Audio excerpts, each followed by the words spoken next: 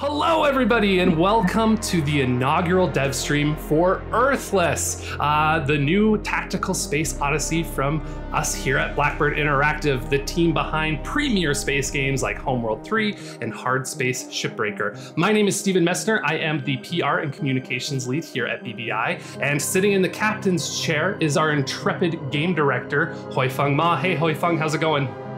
Lovely to be here. Yes, we're very excited today because uh, if you're watching this, you're actually coming to us from the future. And it's a bright future where Steam Next Fest has begun. And as part of that, uh, Earthless is one of the many games that has a, a, demo available during Next Fest.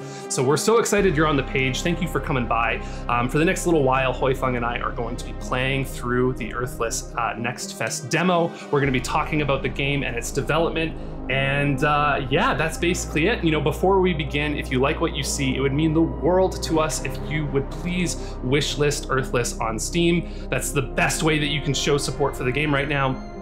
And if you really want to go the extra mile, which we would, you know, be so grateful for, uh, be sure to uh, follow Earthless on all the social media channels at Earthless Game. Uh, you can join the Discord, which you can find on any of those social media channel pages, or I'm sure there's going to be little blurbs popping up all around here during the stream. And uh, yeah, I, I, think I've I've said my piece. So Hoi-Fung, uh, let's let's set the stage here. Tell us what is Earthless and what is it about?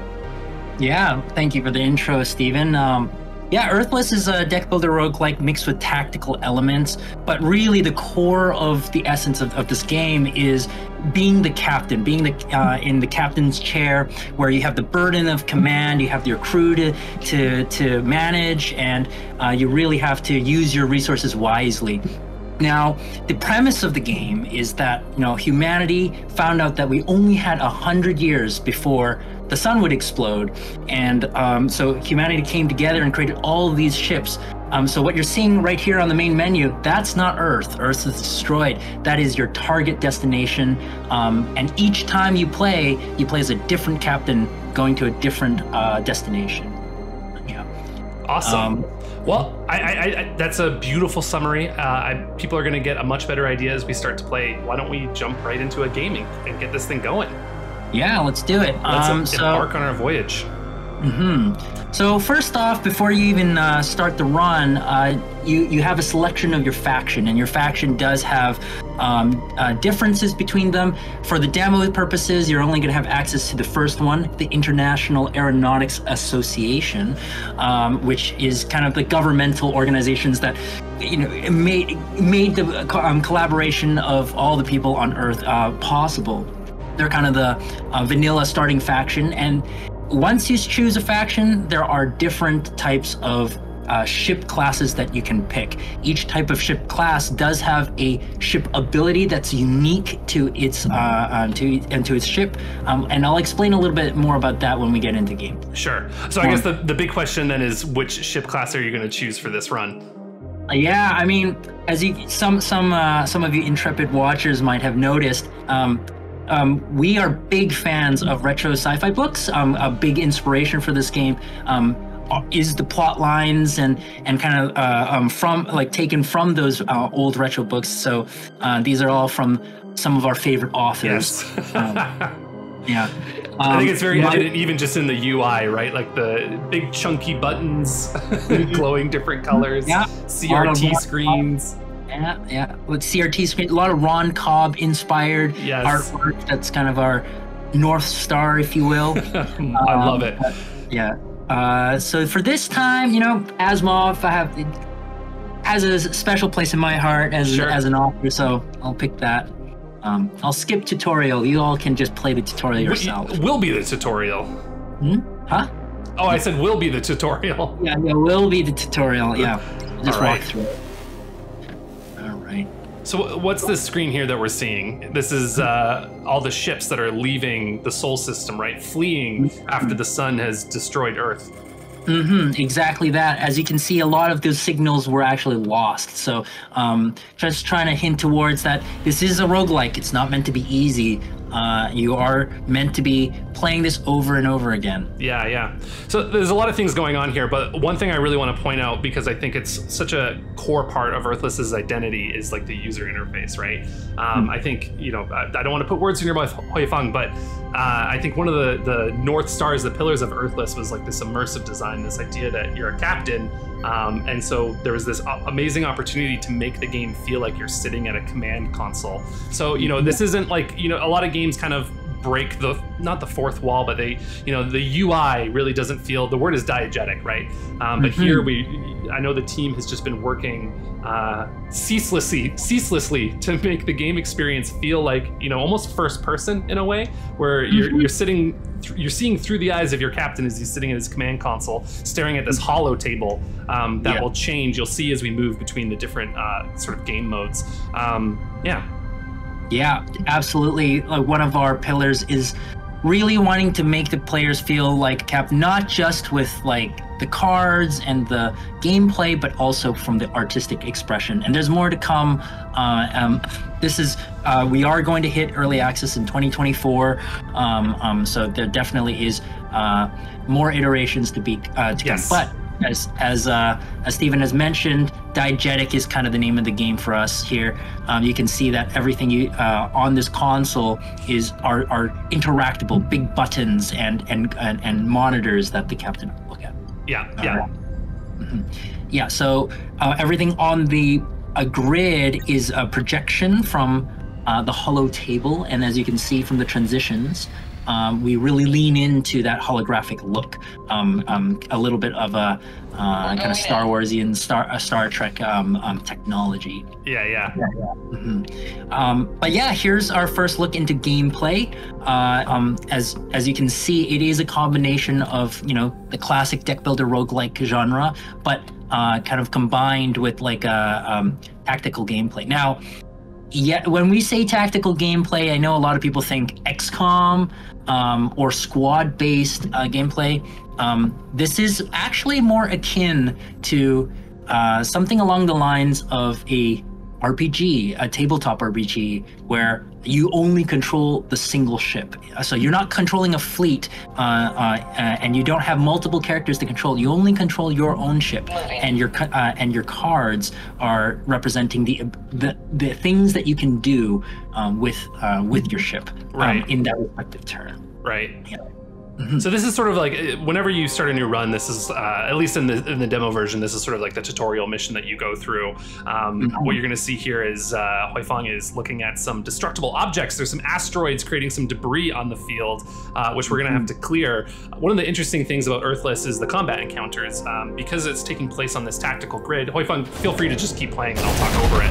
Um, but one of the cool things with Earthless is, uh, you know, compared to other deck builders, for example, like Slay the Spire, um, those games you end a combat encounter by killing all of the enemies. Um, but here we have a lot of different, there's a whole new dimension of strategy available here because, uh, for example, in this combat encounter, you do see there is one tiny little enemy in your way, but theoretically you could avoid him and run towards the exit, uh, which are those two tiles at the very back that are glowing there. Um, and so there's quite a few combat encounters where uh, killing all the enemies is not necessarily um, required, um, though there might be reasons you want to do that. Um, but here, uh, in a lot of encounters, it, it's more about escaping as quickly as possible, mm-hmm. uh, especially if you're low on damage or uh, low on you know hull points. Um, so Hoi-Fung is playing cards here. These command cards essentially uh, are the functions of your ship. Um, so he's moving forward. There's a lot to unpack here, so we're going to do it, you know, yeah, slowly, I, I piece by piece. Yeah, I can talk a little bit about the mechanics and then I'll just go straight through it. Um, one thing that is, uh, I think, a unique feature for us um, uh, is the heat mechanic. Uh, your engines only have, uh, every time you move, um, you do increase your heat meter. And once it reaches the max, um, you cannot no longer move. Um, this is kind of our solution to the classic problem where you're, you're you know if if you can only if you can move so much every single turn um, then it kind of negates the uh, advantage certain cards might give which is like longer range right, right. so every turn you only depreciate your heat by one. So there's a little bit more of a thinking ahead, uh, kind of chess-like, uh, tactician-like uh, a mentality that you have to ad- adapt uh, adapt to. Um, what I love about it, and I'll probably interject a lot of fun facts uh, as, we go Please here because we're all we're all space nerds and uh, on the team is that um, um, for those who think that uh, heat is not an issue because in the vacuum of space it's super cold, that is not the case. Heat is actually a huge issue because uh, in the vacuum of space there's no medium to carry out heat. Um, Yeah, there's which no is, uh, venting. There's no venting, so you have to use certain gases or heated up materials like metals, and then eject it out of the eject it out of the ship before you can actually cool things down. So uh, a little bit of a fun fact. I, I love that you brought that up because I, I did not think about that in the context of Earthless, but you're absolutely right. Like, you know, astronauts, if they go out into space without a spacesuit, it's not that they freeze to death or suffocate to death right away. The thing I think will kill you first, or I've heard will kill you first, is the heat radiation from the sun, you know, depending on where you are in space. But Mm-hmm. like if you're in orbit above Earth, that's the number one, uh, the, the real killer if you were to be ejected out into space without the proper safety equipment. So you just totally torched that enemy. Uh, but I think this encounter definitely is it's sort of a soft encounter for people that are jumping into the first run. Uh, we'll definitely unpack the enemies in, in the next time we have a combat encounter. So yeah, you, yeah, yeah. There's plenty to come. Um, uh, this is more of just a tutorial for the movement. I'm gonna go through this um, pretty uh, pretty quickly so that we can get into the more juicy bits um, Yeah. and, um, faster. But as you can see, after you completed an encounter, um, you will get a reward pack, and the reward. Um, sometimes you'll have multiple reward packs, but um, every encounter will reward you with a new card to add into your deck. And this is kind of the core essence of a deck builder, right? Like Yeah. this is why it's called a deck builder. Um, every time you play the game, it always will give you a different randomized choice, and and and depending on your luck as well as your skill, um, um, your play style will have to adapt very differently each run. Um, so right here, I can see that there's Gemini Missile Launch, which is an attack card. Um, the range is great, four a range, um, um, and the damage is equivalent to uh, uh, uh, normal missile launch, but the, the range is increased by two. Um, it has an additional effect where it creates a another Gemini missile in your deck for that turn, which is why it has a keyword called deplete. Um, once once it's once you end end a encounter, that card will go away from your deck, so you're never going to flood it completely.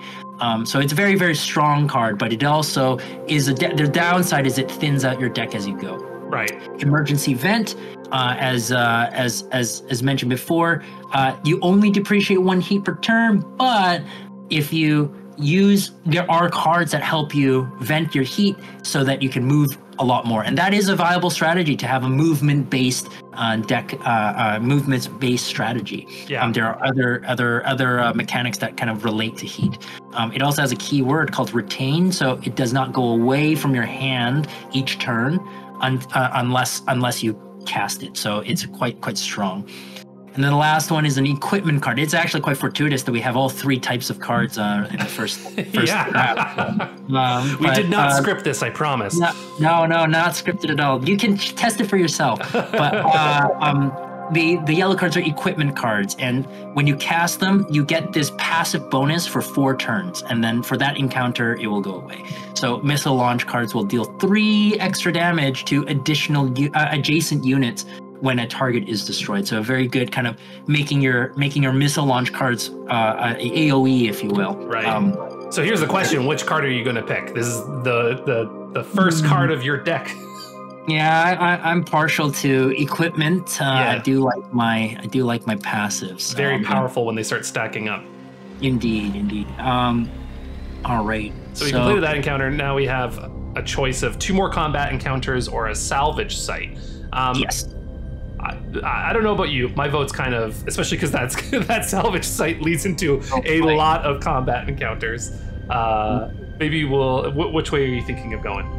Um, I'm so so. This is another aspect of planning that is pretty critical. Yeah. Um, you do want to look ahead because uh, if you just pick what is best in front of you, you might lead yourself into a point of no return where uh, you are not setting yourself up for success, right? yeah. Um, each star map, and the demo will only have one star map, uh, um, will end at the boss, the boss encounter. But uh, in the uh, early access build, um, to finish a run, you're gonna have to beat three star maps before you reach the planet. Um, Yes. So this is kind of a more truncated experience that you'll get. Yeah. Um, another aspect um, that uh, we don't talk too much about in this build, um, but we will definitely emphasize is you see these kind of windows into different areas of space. Yeah. Um, these represent zones, and different zones will have different effects. Right now in the demo, we only have planetary and asteroid, so they're pretty simplistic. Um, but in the future, um, we will have nebulas that will obscure the, the, the, the nodes on that path, or um, solar flares, which have a lot to do with the heat mechanic, um, or ice zones, which can uh, also help you along with the heat mechanic, where you depreciate heat faster, but uh, you, you might get stunned, and there might be more ambushing. Yeah. Kind of, um, So adding yeah. like all of these different layers and modifiers to combat. So it's you know when you're fighting Exactly. enemies, maybe you fought a combat encounter like that before, but when you start taking in all the modifiers that can be stacked on top of it, it can feel like a very different combat experience. So here we are back onto the combat grid. Uh, Hoi-Fung is up against three Lusk units. So Lusks are the basic uh, enemy faction that is available in the demo. Uh, we are going to have more enemy factions. Um, I think at early access launch, we're going to start with just the Lusk, uh, Lusk, Lusk faction, sorry, uh, of which there is you know several different unit types, and then as the game uh, continues through early access, we're going to be adding more and more factions, which will have you know their own unique mechanics and play style that you have to fight with. So um, these Lusk units, Hoi-Fung, let's talk about uh, I think one important thing to establish right away is. Um, how you gain information on the battlefield. So already you've destroyed one guy, but you have these two other grunts remaining, and uh, your turn is you got a little bit of energy left. So uh, why don't you play off this turn, and then we'll talk about uh, how players can understand and read the tactical grid to understand what's going to happen next. Yeah, so one thing that um, uh, differs again from um, uh, kind of the, ta- the, the the traditional tactic genre is that we do not have percentile chance of being hit. Everything in uh, uh, the the battlefield is um, deterministic. Yeah. So the the onboard computer is powerful enough that it can kind of predict the future by one turn, uh, and it can predict the future when you and, and it is. Um, reactive to what your actions are. So it's unlike uh, uh, uh, certain games where once it is projected, that is what their move is.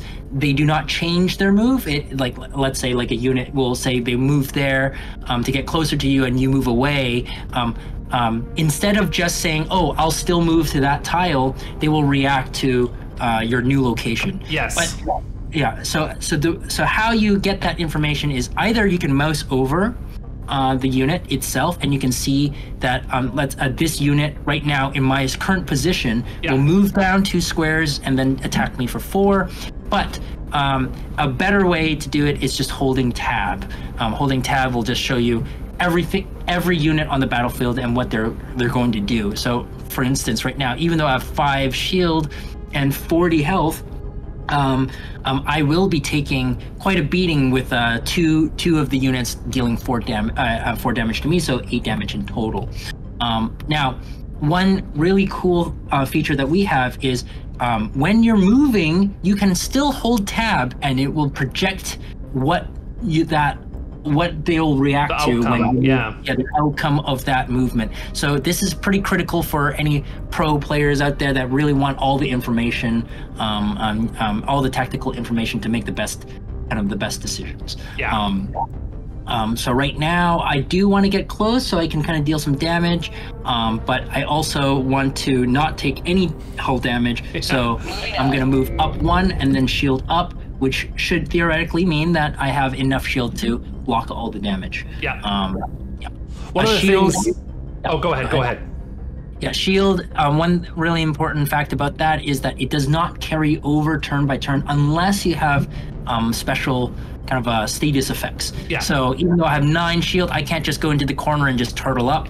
Um, um, um, this is only good for one turn. Yeah.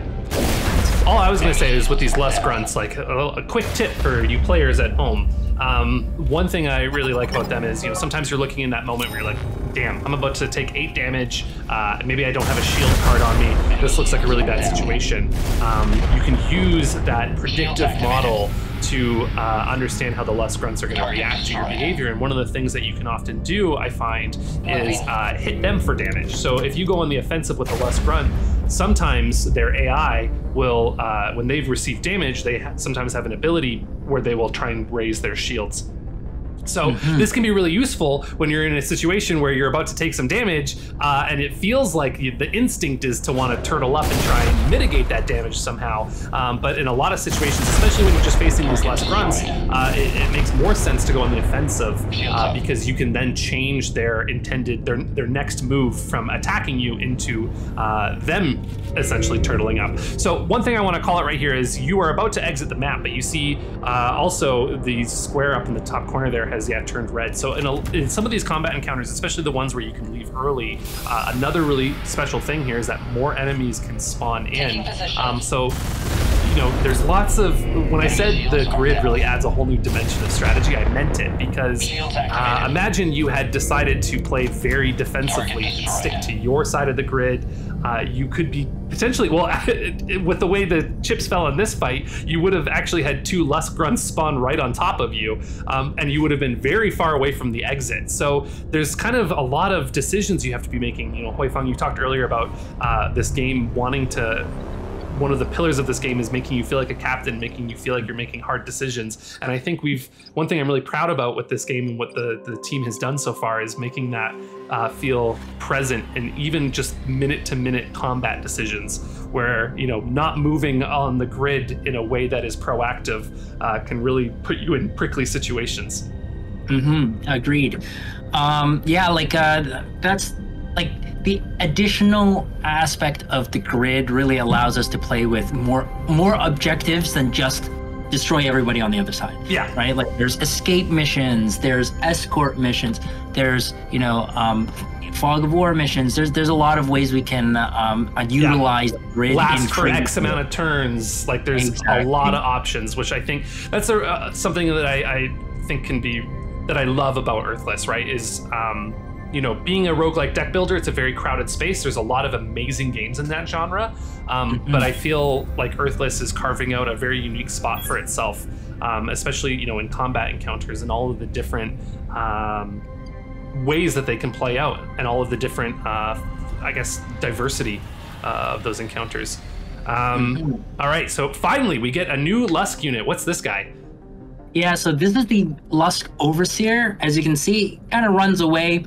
Um, that's because it's a support unit. Um, you can inspect the units by either right-clicking on it to see like, exact kind of details as to what they can do. Here, you can see that it will buff units, uh, allies, and then uh, debuff enemies. So uh, me, in in a pinch, it can actually deal some damage, but uh, it would never prefer to do that un- unless there are no more enemy, uh, uh unless they don't have any allies to buff. Another yeah. quick way to do that is you can click Tab, and um, all that information will be also shown on the on the right side as that well. tab key, man. You got to be pressing it. Mm-hmm, pro, pro tips. Uh, pro tip. Pro tip. Yeah. All right. So you just used your equipment card. Remind me what that one was. Oh, it made your missile launches do three extra damage for a few turns. When, when it when it destroys a target. When it destroys, destroys a target. That's the uh, key. Uh, which includes uh, asteroids. So as you can see, even though that my uh, missile launch cannot reach this unit, um, if I destroy the uh, this asteroid, it will still deal three damage to the right to, to the um, next to it. Which in but, this case is very fortuitous for you, right? Because otherwise, you can see here your range for that missile launch would not have reached uh, that Lusk unit. So you you can be very clever with how you use your abilities in Earthless. Um, so exactly. yeah, exactly. But I'm actually not going to do that. I'm going to captain's orders there, uh, and then uh, destroy this one. Okay, so Captain's Orders is an interesting card because it uses the combo mechanic. Now, deck builders, uh, veterans are going to be really familiar with combo mechanics. Basically, if you play a card before playing a card with the combo keyword, you can trigger additional effects on the combo card. Uh, what did the Captain's Order one do? Yeah, so if you can take a look here, it on its own, it's already a really strong card for two energy. Uh, it uh, deals five damage and gains five shield, which is a little bit over the the the the, the base rate. But if you have combo, which is like if it's not the first card you cast this turn, you additionally draw a card and gain one energy. So it's just a very good value card. Yeah. Um, yeah. Um, alrighty, so I don't like that Overseer. Um, so I'm going to use Battlefield Analysis to give me more options, and that one draws two cards, and I discard one. Um, but I don't like getting hit either, so I'm just going to use Target Locked, which marks it. Uh, so now it has, uh, when it dies, it'll give me energy, uh, when, and it'll take more damage equal to the stack uh, of Vulnerable. Yep. Uh, so with that, I should be able to use Mjolnir Strike and then uh, destroy it with missile launch, which also deals three damage next to the, to the surrounding. Yeah. Yeah. Exactly. Now those asteroids, we were talking about asteroids. You know, they're on the field. They're not just there as something to shoot at that gets in your way. Um, another important thing about asteroids is that they actually can act as line of sight barriers. So some attacks um, will use line of sight. And so having an asteroid between you and an enemy can actually be very useful in certain situations. And then um, if you've noticed, Hoi-Fung's destroyed two asteroids on the field so far, and they've left behind this sort of like ethereal glowing thing, and that's some asteroid, what's it called? Debris cover. I was going to call mm-hmm. it asteroid dust. and uh, yeah, debris cover, which then creates sort of a, a, a battlefield effect that, um, can enemies also utilize that, or is it just yes, the player? indeed. Indeed, nice. actually, a great example. So this grunt is in the debris cover, uh, as you can see, and so even though Captain's Orders does five damage, if if I cast it, it only takes four. So it's something to be aware of that the tactical elements of the board it's neutral uh, everybody can use it yeah. Um, and so uh, uh, um, sometimes you want to position yourself so that uh, you're in the most fortuitous position compared yeah. to your so you're gonna take off this Lusk uh, Overseer Mm-hmm. And now we just got the grunt left, which should be relatively easy pickings for you. Indeed, but that uh, that free cover is actually uh, uh, doing a lot for it because it's uh, take, taking a lot of. Uh, it's smart AI too because you know he could have left that, uh, but instead he opted to stick to the debris cover. He knows when he has a, a good position. Yeah. Yes. So, so you, yeah, go ahead. Yeah.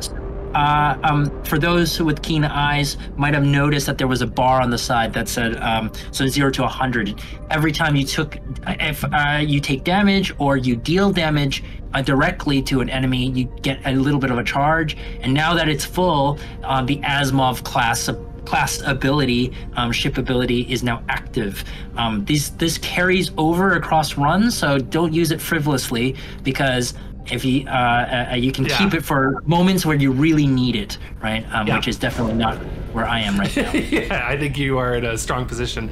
This is what I was talking about earlier too, with uh, these mission scenarios where you have to exit the map in order for the combat encounter to end. Um, I think that you know it, it's probably not a situation that players are going to encounter often, but there's definitely even a world where I could see players exploiting their uh, their ship's uh, ultimate ability by staying in a combat encounter um, mm-hmm. especially one where they feel very confident in, and mm-hmm. basically farming the enemies that are going to be continually spawning in in order to uh, you know, farm up extra ultimate uh, ultimate ability progress. I'm trying to think of how you would describe that, but yeah. All right, so you got mm-hmm. another couple rewards here. Uh, yeah. Um. So one thing that I haven't mentioned, I'm gonna start talking about this uh, right after uh, we get into um, the the star map, is that on the bottom, you might be able to see that there are roles assigned to cards. Yeah. Um, whenever you pick a card, that person will be a little happier, and I'll, I'll explain a little bit um, what, what that. Yeah. Oh. What person could you be talking about, Hoi-Fung? I, I'm so curious. Uh, oh, and you also got a uh, an artifact. Also, yes. Um. So sometimes uh, it's dependent on the luck and chance of the level yeah. and the difficulty of the level. Um, um, artifacts are uh, um, basically upgrades that you can attach onto cards to change their uh, text um, and their abilities. So you can over time customize your cards and make them uh, a little bit stronger, especially since the difficulty of the levels will increase. So I'm actually going to talk about two screens right now. Yeah, go for the it. First,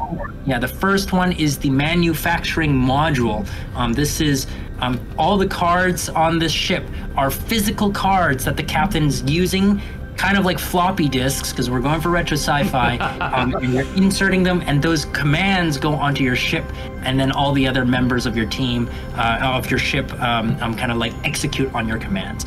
Now, uh, here here you have three. Uh, basically, you have three um, tabs. The first one is crafting. We'll talk about crafting when we get to a salvage site. But upgrading, so I have two artifacts right now. This one makes a skill card give shield, uh, and then this one gives an attack card plus one range. So I'm actually, and and since I already have these artifacts, it's free to install on a single card. So let me Yeah. which card I would want to add that effect to. Now, I tend to like adding it onto cards that tend not to have a lot of base value in itself. So, Battlefield Analysis, it's zero cost. So, um, by adding the artifact onto this card, it's a zero cost, gain five shield, draw two cards, discard one. So, Yeah. very, very. Just by using that one artifact, you've automatically made um, that card. Sorry, what was that card's name again? Uh, Battlefield Analysis. Battlefield yeah. Analysis is already better than your shields up, like your basic shield Mhm. card. So yes. you can see how artifacts uh, over time can really start to mm, be like a major force multiplier, um, Mhm. which is why Mhm. like you know. eh, New players, especially if you're just playing this demo, um, don't let your artifacts sit in your inventory unused. Certainly, you know there's a bit of a balance there where you might want to save an artifact for a card that can really use it, but it's it's kind of like you know RPGs where you beat the final boss and then your inventory has like thousands of health potions in it because you didn't want to use them because you know Yeah. uh, so definitely use your artifacts as they come because it'll Mhm. it, it's key to keeping up with sort of the difficulty curve uh, across campaigns across voyages Exactly. Well said. Um, yeah, and and um, another thing about artifacts. Right now in this demo, you on- can only attach one to each card, but uh, in the early access build, um, the number of slots for your artifacts will be determined by uh, the rarity of the card. Um, and and and and we'll, we'll we'll expand on that in early access. But um, right now in the demo, you're never going to get that far. But uh, in the future, you could have up to three artifacts on one card. So you're really making something that's special, Yeah. unique that run, unique to you. Um, um, something that we, we really want to emphasize, some, uh, like uh, games like FTL, where you have stories that you remember even after playing it for like a couple years. Uh, It's like, oh man, that time, you know, I had a missile launch and it was crap, and then I upgraded the heck out of it, and then it became the best card in my deck. Right? So, yeah yeah uh, the, the the one card that won the game exactly. So, carried me yeah absolutely mhm. Um, adding more more customization in your run so that each run is a unique experience. yeah I'm going to add uh, this artifact to add one range to my Mjolnir strike. Uh, Mjolnir strike only has two, and the difference between two range and three range is actually pretty massive because it's Yeah. a square. Um, so I'm gonna just add that. yeah that's right Now- like when you think about it two range is four squares uh, uh, three range is what would that be nine Yeah, so, so two range is actually three by three. oh three by three yeah yeah and then uh, and then uh, uh, uh, three range would be a five by five square. So Yeah. so the difference is um, exponential almost yeah exactly exactly so all right so recycling um, so a lot of you who are familiar with kind of deck builder games um, you you won't go into the trappings of uh, the usual uh, uh, new player where it, which is the more good cards I have, the better my deck. Well, the more cards you have in your deck, the less likely you're gonna pick the cards that you want, right? So even though shields up and you know missile launch those st- start off fine as you know gain four shield and deal three damage over time they're not really going to be that useful when the enemy's health goes up and you really want a higher chance of pulling the cards that you want right um, the, the powerful cards that you drafted so um, here i uh, every three nodes that you travel um, you, you can told by the little green light on the bottom um, um, you can remove one card from your deck um, Yes, and So- do this. This is another like hot pro pro strat. Pro tip, pro recycle tip. every time you can recycle. You should recycle. Exactly. So uh, unless unless your t- deck is already refined in the late one, but like in the early game, you know, unless you have a lot of synergies with it, remove the shields up, remove the missile launches. You'll you'll have a higher chance of pulling the cards that really matter. Yeah. So because, because I just added a uh, uh, uh, uh, artifact on my battlefield analysis card, which already gives me shield, um, I can remove a shield card um, um, pretty happily. So I am going to remove that card and then uh, head back in. And you can tell how many turns you have, how many nodes you have to travel before yeah. uh, getting the card um, on the bottom right there. Um, all right, so our first exposure to the non-combat encounter cards. Let's take a look at the point of interest, uh, and this is a great time to introduce the crew. Yes. Um, so, a lot of what we've been talking about is mechanics and, and elements like that, um, um, which is of course the bread and butter of your gameplay experience. Yes. But the deck building nitty gritty. Exactly. Uh, um, but you know, you're not a captain without a crew, right? Uh, without a crew, you're just a pilot. and so every time you launch a new game, um, you will have a different crew members. And these crew members are uh, pulled from a vast pool, uh, and they all have their own little personality quirks. Um, and so you can see this is kind of like a Discord channel essentially, where yes. the gunnery officer is saying to us, like, hey, we collected these lost pearls. Um, we should use them for research on weaponry. Whereas then the science officer is like, well, no, no, no, no, no. We don't. We need the opportunities to kind of investigate its anatomy so that we can advance our medical technology. And you, as the captain, has to kind of make a decision. Now, this is the first. This is only the first story. Stories change, so depending on what your choices are before, they do affect um, the stories in the future. So um, you can either choose to research for combat capacity or, or medical advancements. Um, and as you can see on the side, different members of the team have very different kind of opinions that will yes. affect their morale. You can also um, see too both options net you a, a card. A card like, as right? well. Yeah. Exactly. So a lot of uh, short-term gain, short-term uh, rewards, as well as the thinking of like long-term, um, long-term um, consequences as well. So yes, this will net you a card. This will make three people happy. You might think that, that hey, that's a no-brainer. This one makes three people happy and only one person sad. Um, um, why not choose this one over that one, which makes two people unhappy and two people sad? Sorry. Um, well, depending on the choice, there could be consequences, um, more devastating consequences in the future. Yes. But for now, I will choose combat encounter. Um, and, and so I got a serrated rounds, a gunnery officer card um, added to my deck. Yes. Why don't we pop open the crew menu? I, I you know, I, I know we're spending a lot of time explaining stuff, but I, I, am hoping, you know, people watching at home. By the way, you should totally wishlist Earthless on Steam. Um, Help are appreciating, you know, I, I, one thing I love about Earthless is just this depth, right? It, it, it doesn't feel like so much. It's not that the game is very daunting to get into, because uh, start to pick up the stuff over time. You can play right away, and yes, you might not make the most optimal run because you didn't make use of every system available to you. Like you forgot to recycle cards or craft cards or whatever. But over time, you're going to start to get better and better, and your mastery of all these different systems is going up. But I, I do want to take a second to talk about this because this is probably one of my favorite things about Earthless is, um, and I think something that just makes it such a unique and special game is this this this crew system. So yeah, here we have the different officers. They each represent the different functions of your ship, um, and as Hoi-Fung pointed out earlier, they also align with the different uh, roles on the cards. So you have gunnery cards, those cards deal damage, and then you have your gunnery officer who sort of uh, oversees the function of those cards. Now, uh, the most important thing here is the crew morale. Um, or not the most important, but one of the more important things here is the crew morale. So as you make these decisions, and it's not just on those nodes, I think um, eventually the game will have you know more opportunities for your crew's opinions to go up and change. Um, mm-hmm that that's tracked in this morale uh, this morale meter, and so as it goes up, your crew might unlock positive bonuses. So when that's what you have to be so careful about when you're making decisions is, you know, I have this gunnery officer, my build is very emphasis like emphasizes gunnery cards.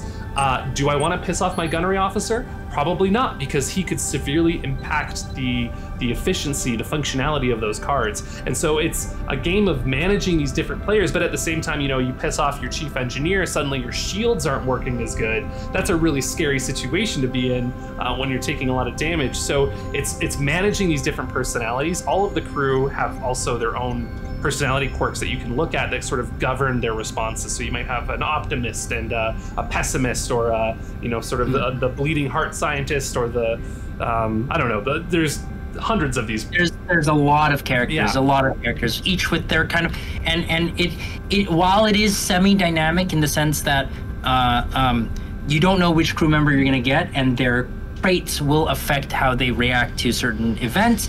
Um, um, uh, yeah, like they are uh, the the character that you see on the portrait will be that character.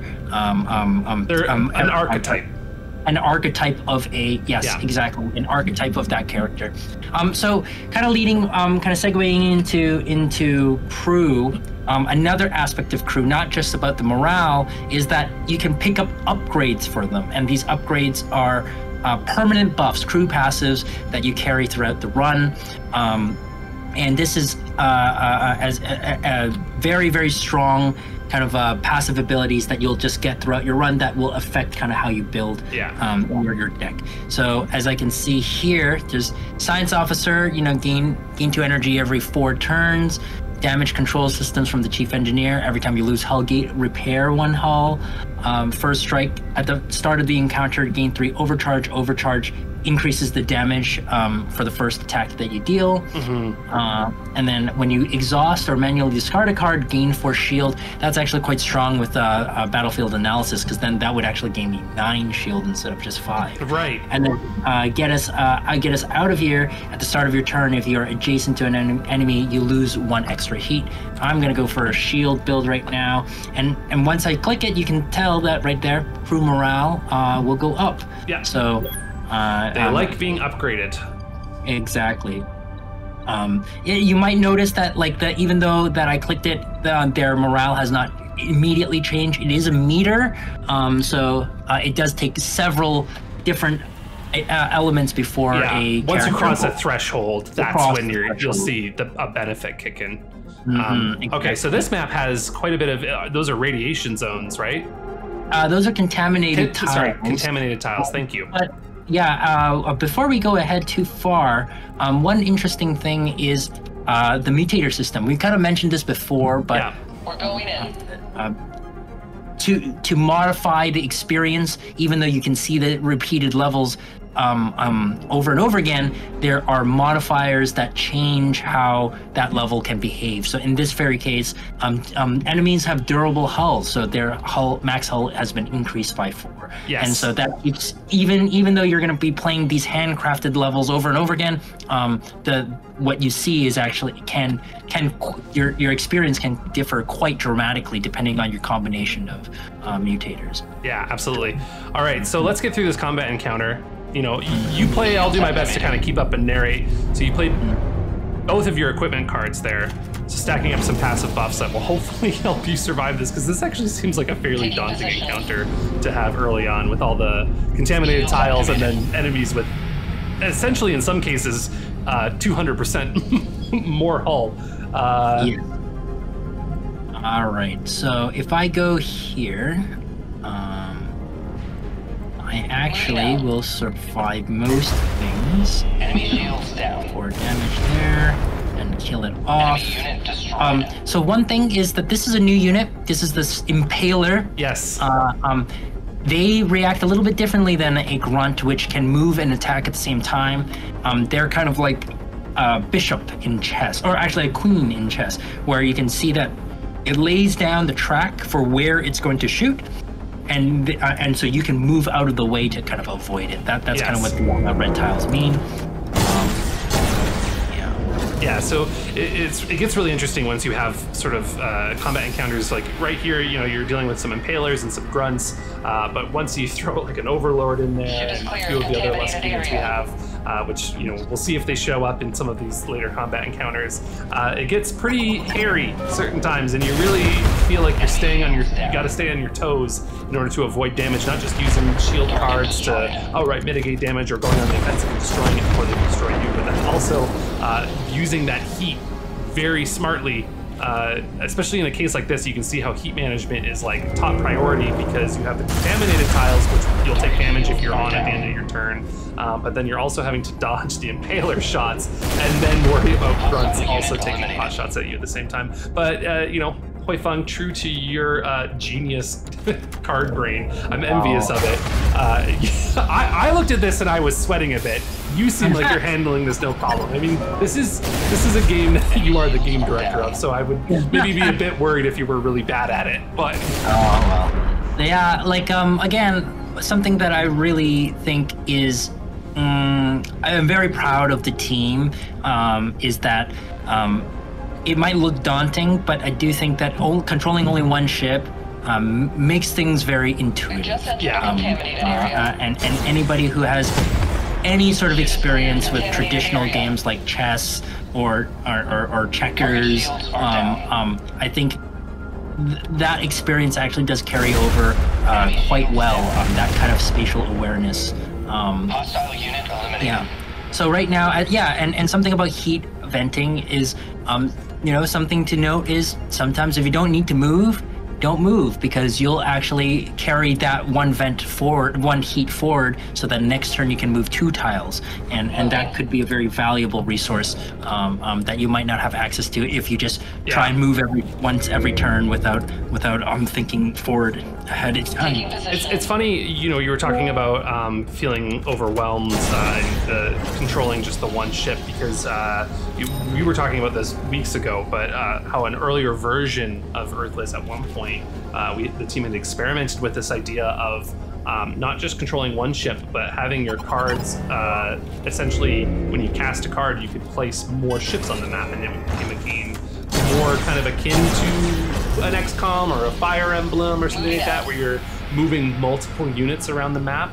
Um, and I remember what you told me it was so fascinating was you know when they were pro- when the team was prototyping that iteration of the combat system, what you found was that you know deck builder fans really gravitated towards the deck building component, so casting the cards, but really started to ignore the unit component of moving all their different units around their little army that they were building. Whereas people that came from maybe more of an RTS background uh, did the exact opposite, uh, where they were really focusing on moving and manipulating their units on the grid, but then were almost neglecting the cards and weren't playing it. So it felt like, you know, uh, sort of cramming two different games together and trying to make them work. And that's where you eventually kind of came to the conclusion that, you know what, it's better if we just have the single ship, which, you know, fits the, the theme and the story of the game. You're a lone captain and crew uh, out in the dark reaches of space.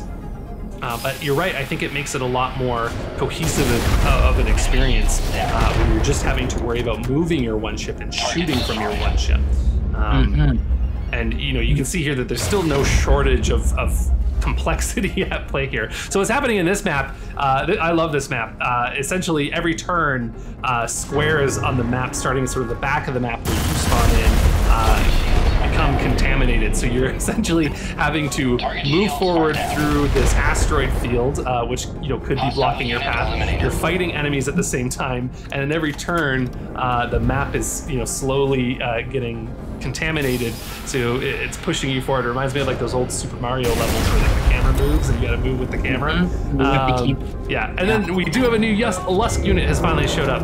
Uh, this one I, I can talk a little bit about Yeah. this. Um, so yeah, like uh, um, so this is the Lusk Hive. It's the first two by two unit. Uh, you've uh, that, and I think it's the only two by two unit in the demo. We have more, um, but every every couple of turns it will spawn new units. So you know another thing about you know the objective of the game is that it's not always to kill everything.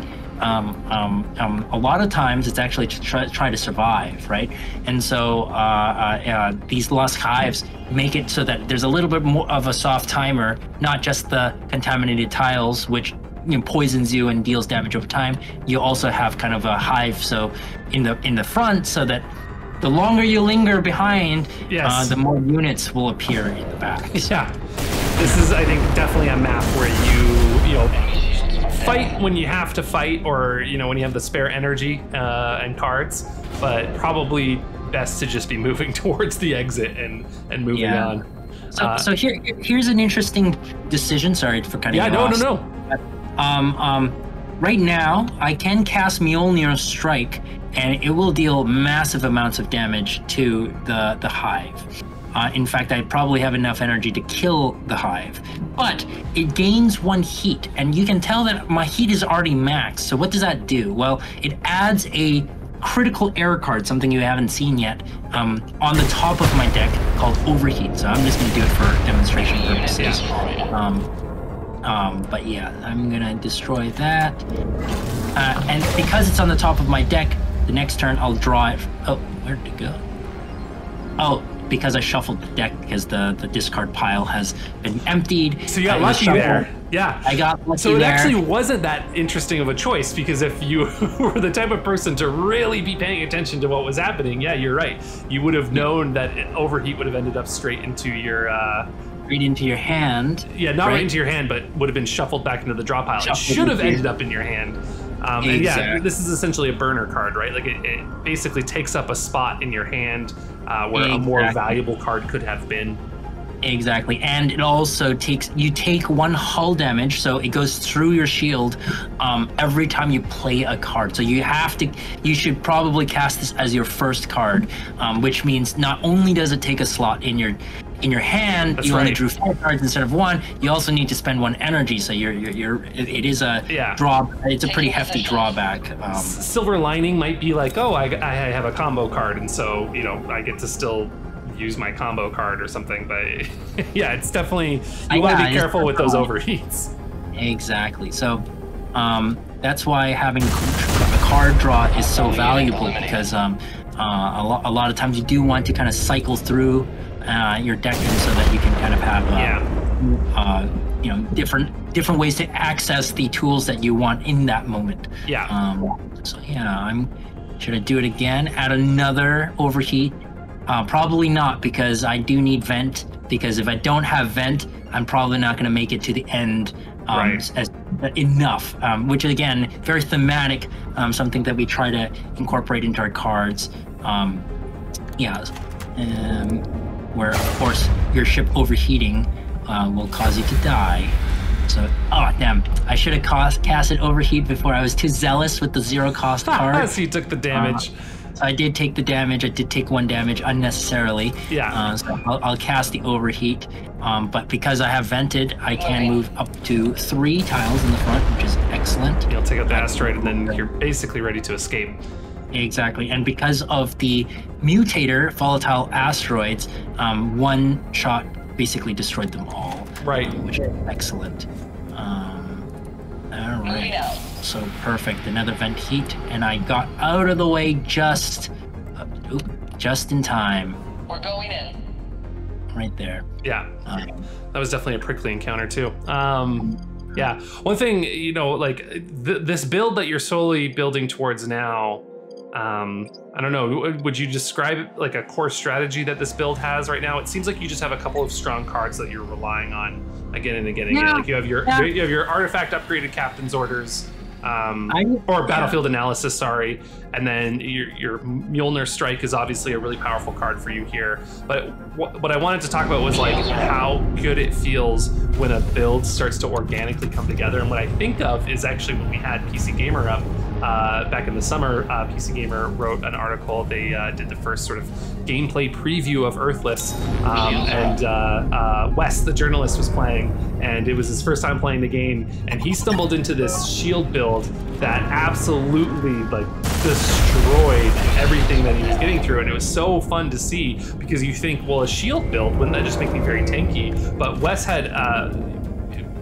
Hoi-Fung, you might remember some of the cards that were key here, but Wes had essentially stumbled into a couple of cards that not only got him lots of shield, but then there was a card that uh, essentially allowed him to vent his shield and deal that. Uh, the, the That amount, amount of, of damage, yeah, that yeah. amount of damage, the same amount of damage as he had shield points. So he could stack up this enormous amount of shield, run straight into a group of enemies, play this card, and deal you know 20 damage to all adjacent enemies and it, it was like really really fun to watch and i think like you know it, that's the key thing with uh, types of games right like roguelikes especially um, is that feeling of uh, it's okay to break the game. In fact, we want you to break the game because it's temporary. You're gonna even if you you know break the game and you get all the way to the end and you beat the boss, what a rush that is. But you're gonna start over again and it's gonna be completely different you know rolls of luck, rolls of the dice, uh, and so you might never stumble into that same OP strategy uh, a second time, and so you're always gonna be chasing that dragon, so to speak, of of uh, feeling like you know getting the the right cards, the right artifacts to just absolutely stomp anything in your path. Exactly. So right now, what I, I kind of have is a uh, a little bit of a shield build. Um, I don't have all the pieces, um, Yeah. not like nested, um, but uh, you can tell that uh, even even with my uh, uh, just from my crew passive of gaining shield every time I discard a card, and um, um, because of my uh, happy uh, comms officer, Yeah. uh, um, uh, I am actually getting quite a bit, uh, quite a bit of shield each turn, and I do have a, a Hoplon battery card, which every time I gain shield, deal three damage to adjacent units. So This is sort of like the baby version of what I was describing with Wes. version, exactly, baby version. Um, not as good, but Yeah. still good enough uh, that I am uh, not taking, uh, not taking that much damage. No, not at all. And you're actively dealing damage. So now, like your build is really, I think, uh, it's so important to kind of play the hand you're dealt in Earthless. And so, you know, because you have this Hoplon battery uh, equipment card active, it kind of incentivizes you to play a very like upfront bruiser type play style. So, you know, if you're the type of player that really likes to sit back and, and snipe things from a distance, uh, you're going to have to change that play style in order to survive this voyage because you don't really have a lot of cards that are going to play well with that kind of uh, strategy. Instead, what you need to be doing is what Hoi-Fung's doing right now, which is getting up in enemies' faces and using your shields to actively deal damage to any surrounding enemies, and then your gunnery cards to uh, uh, uh, strike, you know, do fill in the gaps essentially. Mm-hmm, mm-hmm. Yeah, unfortunately, that Hoplon battery has now ex- uh, has has now uh, Exhausted, yeah expired itself. So or expired, uh, yeah. It yeah, doesn't I exhaust, have- right? Like when, when they don't exhaust after equipment it- resolves. So once you cast the equipment, uh, it is no longer in your Oh, deck for right. the rest encounter. So it, it exhausts are- when you're casting it, not when it, Yes. not when the passive wears off. Exactly. So uh, there is a little bit of a drawback to them, but there are ways around it. So you can make a, a full equipment build, um, which allows you to, um, um, which allows you to kind of like get them back from uh, uh, from the exhaust pile, if you will. Yeah. Um, but there, there you go. if you're if you're watching this, you know, I, definitely Earthless. I think is a game you you love roguelike deck builders. A lot of the team loves roguelike deck builders. Um, if you're not a big fan of this genre, that's totally okay. Like you know, the tooltips and everything like that are really going to help you understand the different keywords and abilities. But I just wanted to point out, like exhaust. If you're hearing this word exhaust, you're like, what the hell does that mean? Uh, it just means that the card is removed from from play. It, when you play that card, it is no longer. It doesn't go into your discard pile where it will eventually cycle back into your draw pile. Um, instead, it is just sort of gone from that combat scenario. But as Hoi-Fung mentioned, there are always ways. Uh, whenever there's a rule, there's a, another rule. always a way to break it. There's always a way to break it, which is, uh, I think, as someone that's played a lot of roguelikes, uh, that's always a good sign. So, um, so this is kind of first experience of crafting. I went Yeah. to a salvage site. I picked up a schematic. Schematics are one-time use, uh, kind of craftable cards, equipments, uh, uh, cards or artifacts. Um, so this card is quite strong. It's quite strong because it creates tactical strike, which is basically a nuke that has a very large AOE and does a lot of damage. So the warhead arming sequence kind of like delays your your, Your nuke. damage, you're basically yeah. turning the keys. You're turning the keys in the ship um, so that the next turn Yeah. you'll get your. I, I And- love this card just because of the visual effect of when it's cast. So I'm Oh, gonna yeah. I'm gonna say it's mandatory when this card shows up in play that you use it. So we're at the boss encounter. This is We are. So this is essentially the end of the Next Fest demo ends with this boss encounter. But like Hoi-Fung mentioned, uh, in early access you're gonna have three. When when Earthless first launches in early access next year, you're gonna have three of these star maps to get through, and that sort of represents uh, Act One of the overarching story, which we haven't really talked about much today. Maybe we'll mention a bit in a bit. Um, that's sort of Act One, and then as Earthless sort of moves through early access towards the full launch, uh, we're going to continually add more of those acts, which will add uh, more star charts, and so eventually, you know, a run of Earthless uh, will be uh, a bit longer than what you were experiencing right now, um, and Uh, quite- yeah. a uh, lot, a lot bit- more enemy factions, a lot more variety, a lot more bosses, more, more, more. So, you know, hopefully you're looking at this right now and you go, "Wow, this really looks cool." Uh, it's only going to get more cool as time goes on, which is my reminder uh, to you, those of you watching this. Please, please, please, uh, it would mean so much to us if you would just take a second and wishlist Earthless on Steam. Just go click that wishlist button. Uh, it's the best way that you can help us at this point in its development before launch, um, and you know, it would just mean so much to us. Of course, you can also follow us on social channels. Uh, I think we're on all the major platforms at Earthless Game. Um, and then on those platforms, you can also find a Discord where you can hang out with other captains and swap stories and strategies uh, and interact with the community. We have a lot of cool things planned for the future. So uh, you definitely want to be in those spaces. Um, yes. So I've talked a lot. I feel bad because it was poorly timed with the introduction of the Spawn Herald. Uh, talk me through this boss, Hoi-Fung.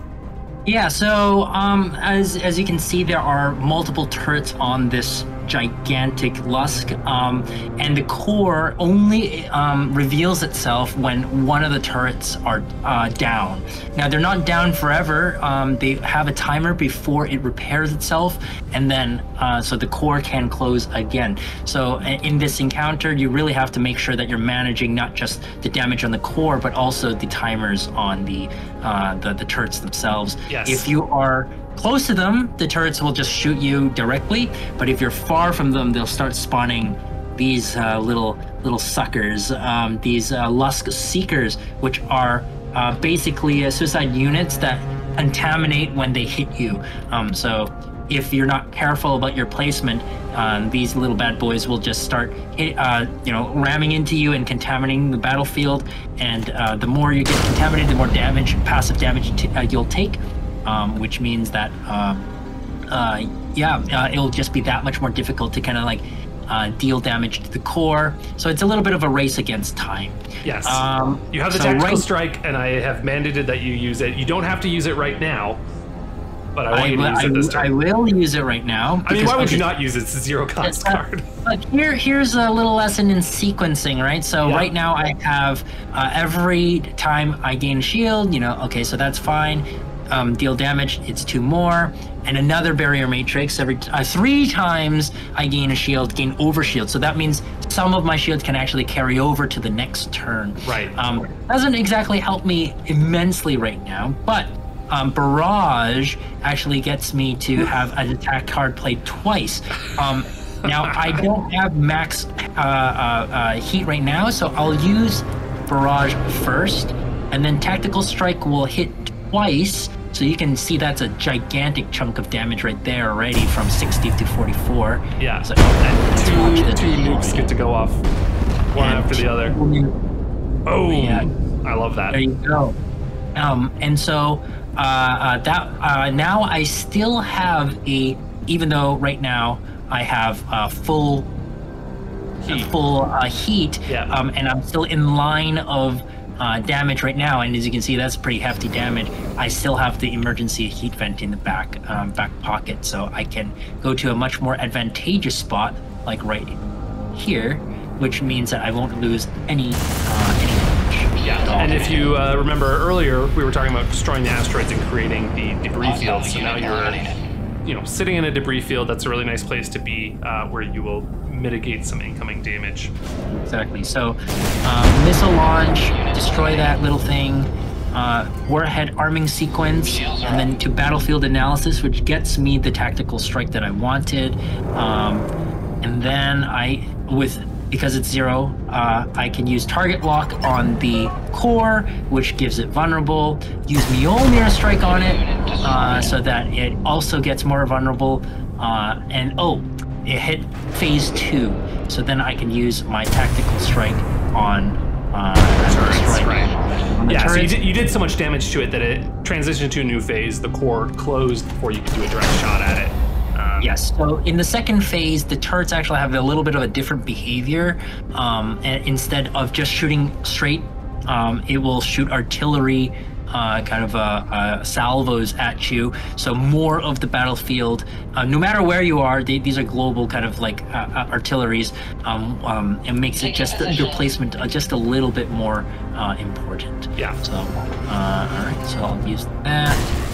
I'll use uh, another Mjolnir strike. Uh, gain some shield.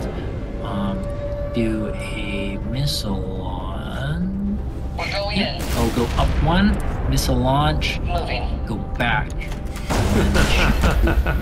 Be okay. I love that. Mhm. So right now, if I use target lock on the boss, it has uh, extra vulnerable. Use battlefield analysis, see what little goodies I get. I don't need shield because I already have 13. Um, I'm gonna use Captain's Quarters because it draws me another card, Yeah. and drawing me another card always helps. I think you Uh, can. Oh, ooh. one damage. All right, all right. So I mean, you, you clearly have this one in the bag.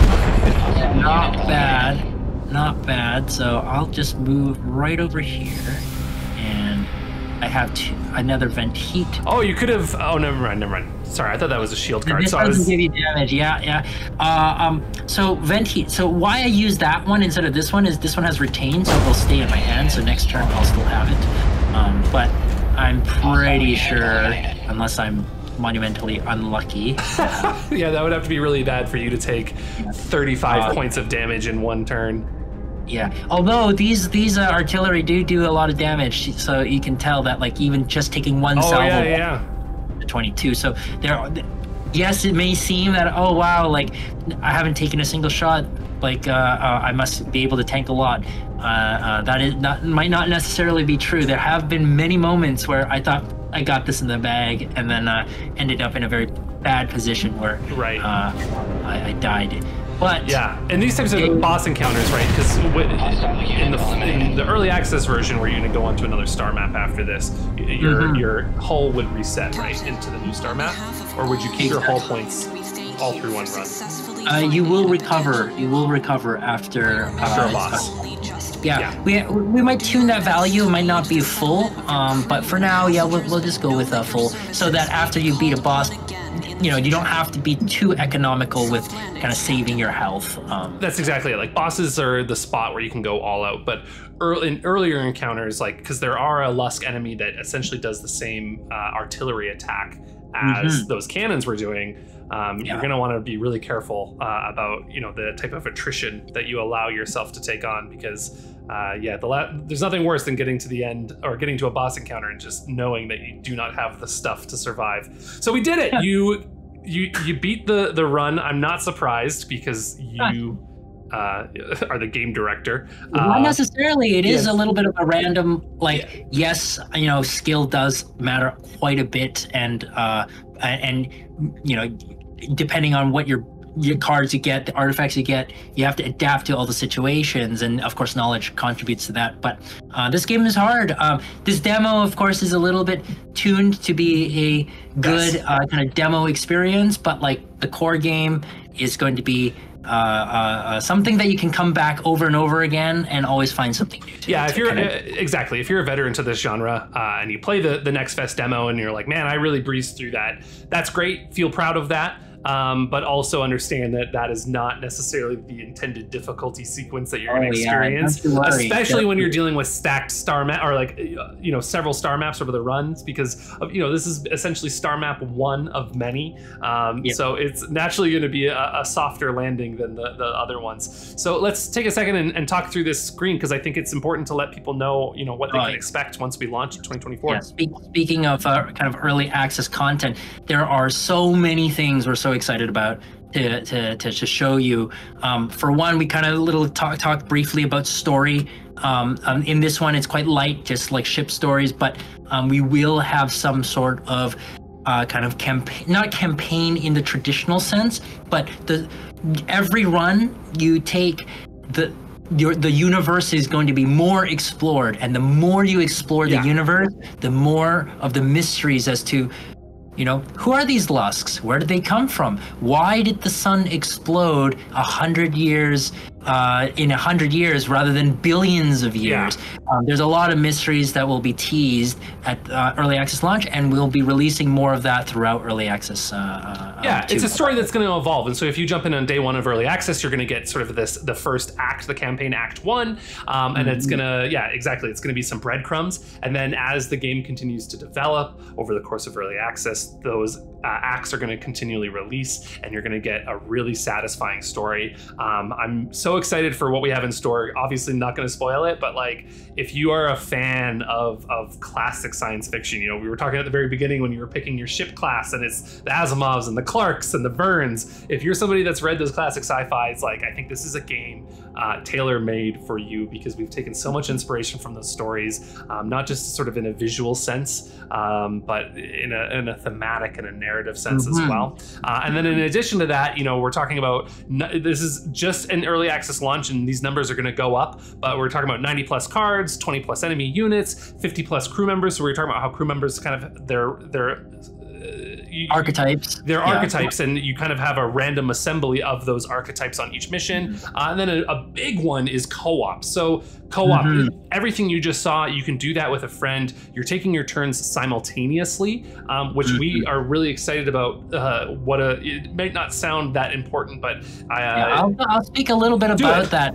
Um, yeah, so in traditional kind of co-op uh, co-op tactic gameplay, it's more of a turn like I take my turn, you take your turn. Something that we're very excited to um, um, kind of bring to the table is simultaneous turns. Um, this was partially partially dis- inspired by uh, kind of 4X games kind of did this already Right. where Civ unless you take like hot hot uh what Hot is it seat. like hot seat Yeah. hot seat mode um my turn it happens simultaneous to your turn right?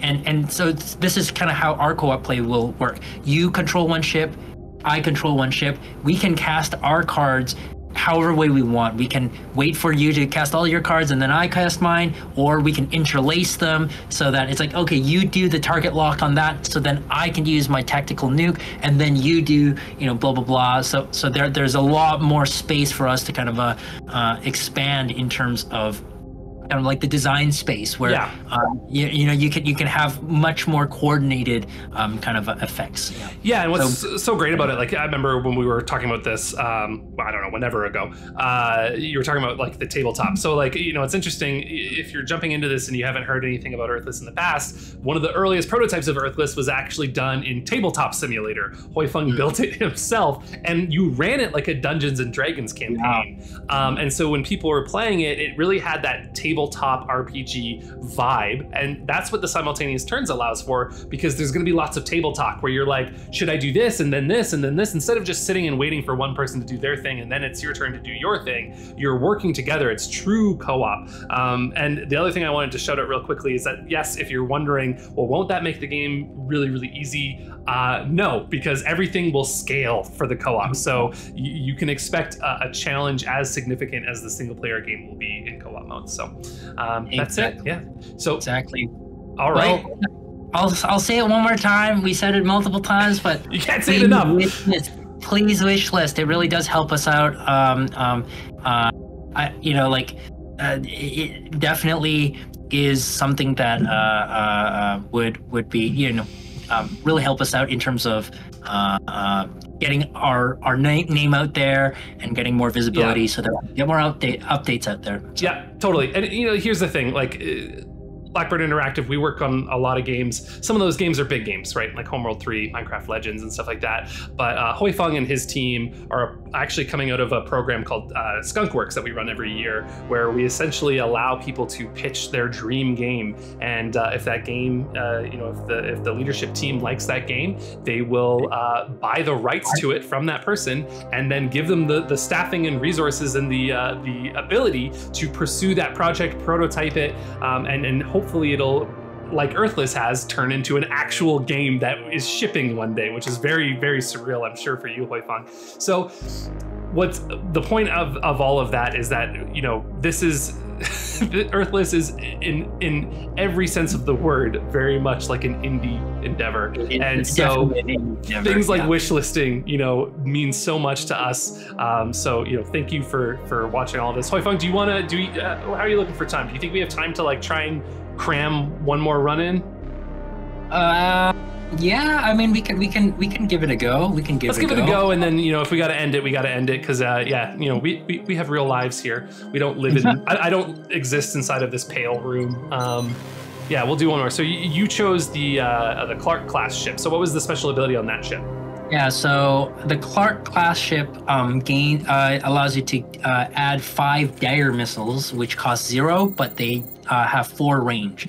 So um, just by having five of them in your in your hand, um, that's already uh, 13, uh, 15 damage straight up, and that's not even including all the combos that you can uh, kind of uh, derive from that. So Yeah, yeah. Um, All right, so we're in. So we're gonna go through the same combat encounter that we did at the beginning. going in. Um, obviously, asteroids are in different spots and stuff, but um, kind of this soft activated. movement tutorial. Uh, but you'll notice that the star map that Hoi-Fung uh, is is navigating right now is actually entirely different. So we're gonna Taking have position. some different events, some different encounters. Um, we'll see how things change, and then you know, especially different artifacts, different cards, uh, could lead to a very Mhm. different experience. Yeah. Um, so another already. thing to, yeah, another thing to kind of notice is that um, uh, different classes have different, slightly different starting decks. Um, so in in this case, I have cluster missile launch, um, which was that really cool kind of AOE ability that um, uh, that that uh, was just cast. So uh, do experiment uh, a little bit with different um, uh, different classes because uh, uh, they're kind of tuned to start in a different position. In this in this case, uh, um, it is tuned to be a little bit more uh, offensive in, in terms of um, having missile strategies. Yeah. Um, yeah. And I, I'm noticing, like, especially with your dagger missile special ability, and then um, um, that sorry cluster. Uh, I can't remember the cluster name. Launch, Cluster, cluster missile launch. Thank you. Uh, both of those cards have four range, as you were saying. So uh, a a bit little more. bit more yeah, it- further range. further range. Wow. Yeah. So I. Um, Did you end Yeah, up siding with the gunnery officer again there? Did you? Um, I, I, different I, I did. I actually I did. so you picked Um, up the uh, serrated like rounds. Yeah, I do like my attack cards, and Okay. as you can see, um, the the portraits have changed. Um, they Yeah. are different characters. Um, different characters have different quirks. You might not notice that in this particular demo. Um, we built this demo um, to be more of a tuned, fine-tuned experience. Mhm. Um, but uh, uh, in, in in early access, each one will have their different kind of responses, and and that's some something that we're very eager to expand on. Yeah, I think the crew system is something that, like, especially you know, compared to what you see today uh, towards early access launch, and then especially as we get into early access development, um, I think that's definitely a system that. Um, I, I, you know, I don't want to make a guarantee and say it's going to be, you know, completely different or anything like that. But I think it's a system with a lot of opportunity for growth. Uh, another thing I think that's kind of hard to get a sense of in the demo with the crew is because you're just playing over the course of one star map. Um, I think crew interactions and seeing the morale bonuses uh, shift either towards positive benefits or negative ben- or uh, it wouldn't be a benefit if it's negative. Positive buffs and, and negative debuffs. Uh, those are things that I think take a bit of time um, to start to really apply up. So you know you can kind of I think imagine for yourself what it would look like doing a going three map run uh, in Act One when the game is available in early access, and how uh, your crew can really start to slide from one end uh, of the morale scale to the other, um, and how those effects can really start to have a, a major uh, impact on on your run and your strategy. Mhm. All right, so yeah, mostly this is another uh, simple encounter. It looks like you're probably just gonna head for the hills. I am. So something something uh, um, that that's you know you have to be aware. Of course, different different strategies require different kind of uh, adaptations. Um, this particular deck does not have a lot of card draw, um, which uh, makes it a little bit more difficult to kind of get to uh, get to that um, vent heat vent uh, vent heat that that I want. Um, so I have to have a lot more cards that kind of don't pay off now, but pay off in the future. So yeah, Yeah. battle preparations in particular, right? Discard two cards, but and lose, and then next turn you'll lose three heat. So so a little bit more of a, a forward planning kind of um, um glass cannon, uh, uh, sniper build. Yeah, I was gonna say like you you have to be really intentional with how you're moving around the map, but on the pro side of the, of the build or like on the plus side, yeah, you got great range and you got great offensive capabilities. Um, hmm All right, so this is kind of the second story, right? Because we've developed our uh, technology for weaponry, we found that our we can use it for energy, um, for for engine upgrades. Um, so we can get engine upgrades or we can get weapon upgrades again.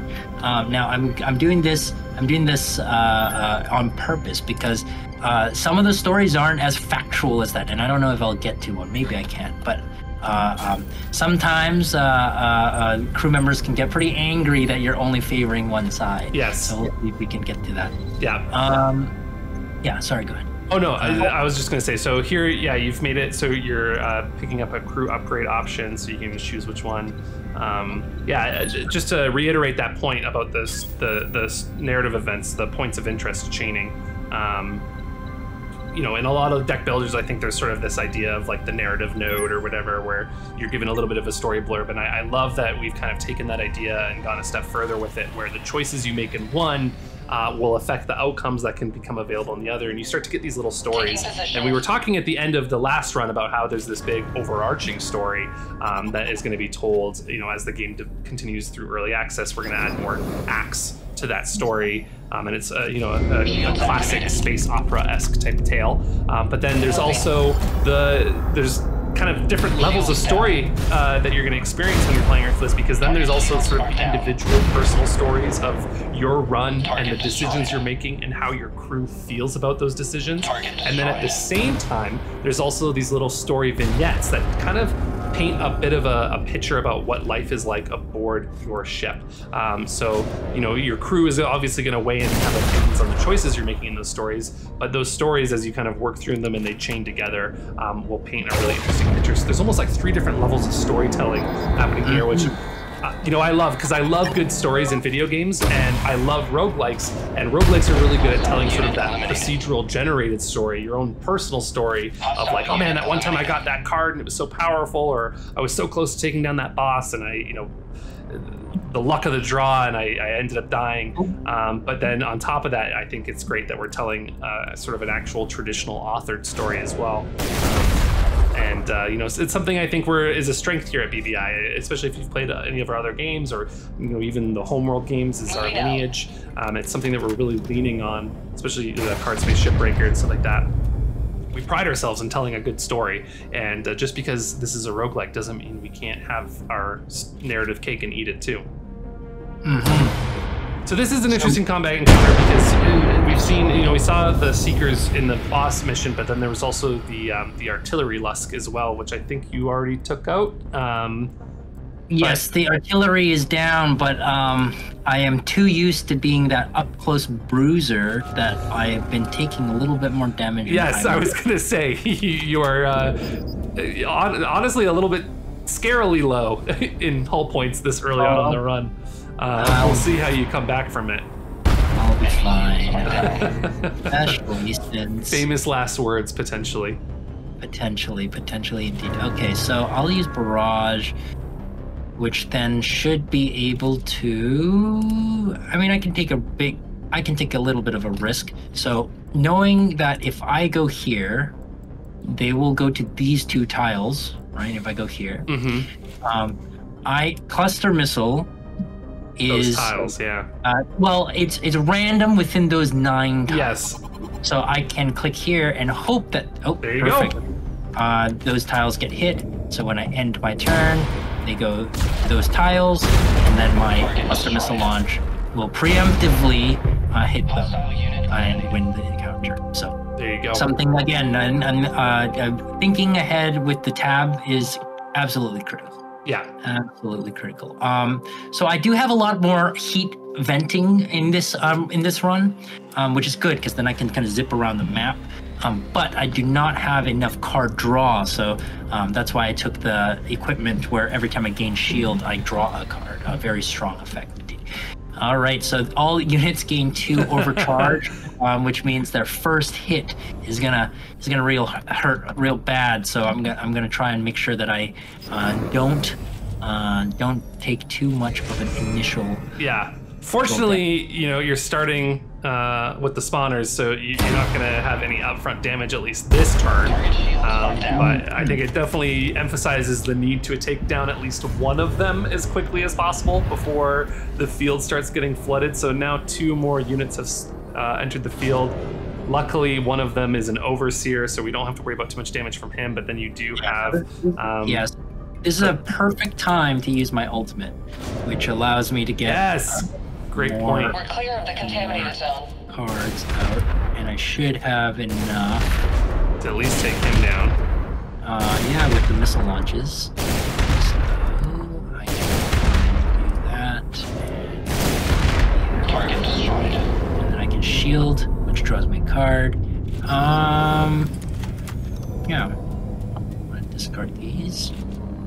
Perfect. So at least one. I I have stemmed the bleeding a little bit. Um, There's a nice big We're hit. so, just good. Enemy shields are down. Shields activated.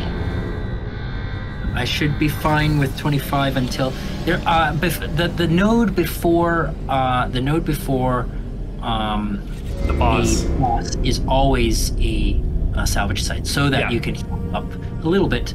Yeah, uh, I don't think we really explained that too much. So the salvage site, you have the opportunity to choose whether or not you want to uh, go for salvage that might get you a new card, or uh, if you want to Taking instead position. use that site to repair your hull damage. So right before a boss, yeah, it might make sense unless you have managed. Like last run, I think you were in such a healthy Destroyed. position.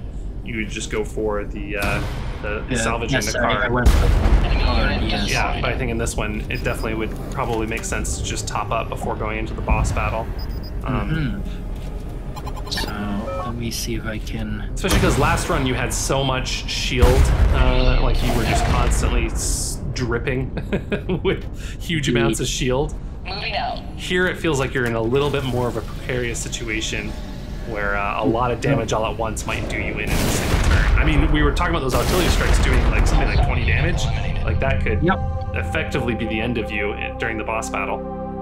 Yeah, so so something that I do need to be very careful of in this particular run is uh, making sure that my positioning is stronger. But I do have more tools to to do that. Um, in Yeah. that I do have a lot more uh, cards that deal with deal with uh, movement. Now, because I've upgraded my co- uh, my my pilot enough that it already gives me a lot of the uh, venting capabilities. I can re- uh, I can remove one of my vent heat out of my deck so that I can uh, uh, uh, draw my more offensive cards more Yeah. often. Yeah. So I'm gonna go uh, to yeah. So here we are, um, where Captain seems like a lot of priority is given to improving the weapons. We're not a military organization. We're a colony ship. I feel like other departments benefit from less tech, right? So because I've been choosing, yeah, yeah, we, I just want my gunnery officer to be like super good. Everybody's kind of unhappy, and, and, and so gunnery officer, of course, they like, hey, we gotta prioritize weapons above anything else. Like if you can't kill us, they'll kill us. We're dead. Then there's no colonization at all. So. We can continue to prioritize gunnery, but Everybody everybody- just like that. It's like the meme. yeah. Whereas uh, um, exploring others um, does uh, does uh, um, increase everybody else's, but uh, does uh, uh, sl- does uh, affect kind of like the gunnery officers. Yeah. Um, gunnery officers kind of the. So this is where you get into some really interesting decision making, especially when it comes to your crew and sort of the passive bonuses of your ship. Because um, I think you know naturally you're going to want to gravitate towards. Um, you know, if you kind of just try to keep everyone in the middle ground, you're not really reaping the benefits of your crew. Um, so you naturally want to kind of play favorites with the crew members that best reinforce your, the strategy that you're going for. But then you have to ask yourself, is it worth it if I end up pissing off the other crew members who might end up being like a really bad thorn in my side? Um, because those the negative benefits of upsetting uh, your crew members can really, really hurt. Um, and so you know, it's this really interesting game of like playing favorites, but maybe not playing so favorite that people start to get angry like they did in that situation, and then you're forced to appease them. We're It- going in. yeah, again, like uh, in real life, you know, you can't appease everyone, and, and you know, for those who have watched kind of a, a, a Game of Thrones uh, and and and uh, and uh, um, a House of the Dragon, you know, like. Um, Leaders who try to appease everyone tend to appease no one, right? So, Yeah, and end up dead, which I think and, is and end up dead, which is also very fitting. fitting. Yeah. Uh, um, definitely something what was that equipment card you just put on? Sorry, I didn't quite see it. Yeah, so every time I kill an enemy, I gain energy. Right. Now That's really nice with those turrets, right? Because that's gonna like you have to take down the turrets anyway, so you're gonna be getting a little bit of energy recycling. And the great thing is those turrets, especially the seekers too, are such they're relatively lightweight. Like they don't have shields like the Lusk grunts do, or most of the Lusk units do, for that matter. So you know, it, and you ha- you do have some AOE options available to you, so that's gonna be really just help like your energy. Um, by having that equipment card going, uh, and then using some of those AOE attacks to your benefit. Exactly. yeah. So yeah, this this this build is definitely a little bit more of a hit and run kind of tactic, um, which is not usually my playstyle, but that is the hand I am dealt. So Earthless is all about playing the hand you're dealt. yeah, all right. So I'm just that. You got really lucky there because uh, the one AoE square that wasn't going to take damage was the one right on top of the core, which is closed off from you anyway. Uh, so that was basically like a perfect roll on uh, on AoE. Indeed, yeah, yeah. So um, I, I should be shooting two of them. The first one and then the second one. Ah, the second one did not hit the core. That was a Too bad. little bit of a shame, but not not the end of Um, so I am going to move that. Move that. I don't need that much of anything. One thing I love that we're kind of seeing here, like we often joke at the office about Hoi-Fung speed. Um, someone who's playing this game and really like understands it and how quickly they can move and We're make clear of decisions. contamination. I think that's like something really cool to watch because I'm I'm a bit of a slower player uh, and I just like to take my time, but it's really cool that, to see the way that Earthless can kind of cater towards both different play styles and people who maybe are used to even something like Slay the Spire where you've played 500 hours of it and you're almost not even like reading cards anymore or like you know really like kind of have that like object recognition Ship where you just see a thing and area. automatically know what it means without having to like take the time to really think through it. Um, this is definitely a game that that caters to those types of players. Uh, so Yeah, yeah. I, I- I think uh, something that we try really hard to do, especially because we have the extra dimension of the grid, is to make sure that everything is snappy. Um, we want to make sure that uh, you're not sacrificing kind of a speed, if you will, Yeah. um, for the pro players, um, but also feel smooth for the kind of like the, the, the newcomers. And we do definitely think that this is a great kind of an entry level, uh, um, even though it might seem a little bit intimidating, I do think it is a quite a good entry level uh, game of this of this nature. Um, yeah, so yeah. I think like I don't want to say too much here, so you know, tell me if I need to shut up. But I think especially that relates to like the story and the way the campaign is structured, right? Like there's some things in place there um, that you know, if, if this isn't necessarily your cup of tea, if you've never tried a roguelike deck builder before, or maybe you just d- decided at some point that they weren't, they weren't the genre for you, I think Earthless is still worth trying because um, you know we're doing a lot here that it, I think goes beyond what. Um, you know, you normally think of when you say roguelike deck builder, especially with the crew mechanics, and then this inclusion of this story that we're going to be telling uh, throughout the course of the game. Um, I think you know, will really speak to people who, you know, maybe don't care so much for casting cards, but uh, like tactics games, like Fire Emblem and stuff like Ship that. is clear of Um, yeah. Yeah, like I, I, I, you know, as cheesy as it may sound, especially from someone who Shields activated. is in like a biased position like me, um, I do think that the uh, uh, uh, uh, the game as a whole is greater than the sum of its parts. Oh, the lights have gone off. Yeah, yeah, yeah. Um, uh, it is definitely is greater than the uh, sum of its parts. yeah. in that we try our we, we really do want to make a cohesive experience that incorporates you know things that we love from other genres so that we're not just you know, not not just catering to one audience and, and really trying our best to kind of uh, uh, make sure that everybody will have fun inside. Area. Yeah, I think this all comes back to this idea, like the the, the core pillar, the North Star of Earthless being this captain fantasy, um, and, and wanting to make an experience. And you know, we talked at the beginning of the stream about the diegetic UI and making it feel like this immersive experience. You're not just pulling cards up and having them vanish into thin air. You know, you're feeding them into a computer system um, and, and creating this experience that feels very cohesive. Um, that's something we're really proud of. And of course, there's more work to be done there. Uh, we're not perfect yet. This is a game that will be in early access. Uh, you did it! you survived again. I was kind of hoping that we'd see you fail. I want to see. I want to see Hoi Fung. I could I could I could have failed it on purpose if you wanted that. No. There is a different there is a different video for that for sure. That's Um, great. Yeah. As you can see, like very different play style. Like that one was much more of a hit and run, move around style deck, whereas the other one was like stay in the middle, tank everything. Yeah.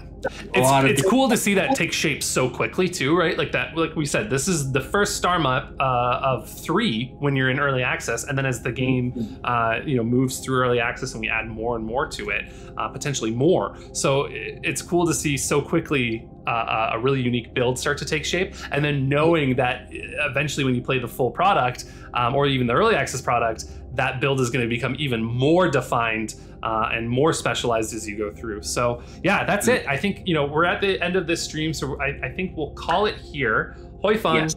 thank you for joining me on uh, our very first dev stream. This Thank was you, great. Steven. You, you, you should take get some water. You've been talking quite a bit. I, I hope that's a compliment. I'll take it as a compliment.